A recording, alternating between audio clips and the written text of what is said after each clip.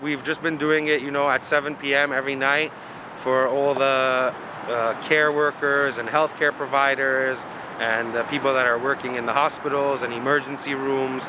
We just taking uh, appreciation for all their hard work.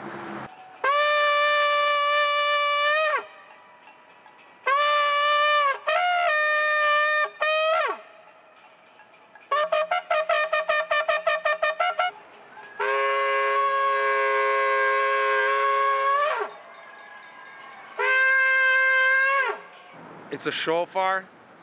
It comes from a ram's horn. It's a ram's horn. And uh, we usually blow it on Rosh Hashanah time, which is the Jewish New Year.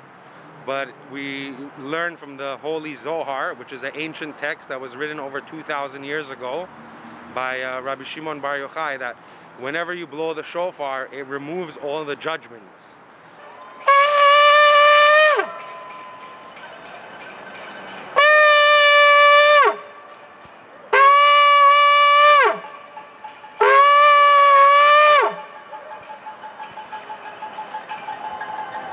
Is that okay with you?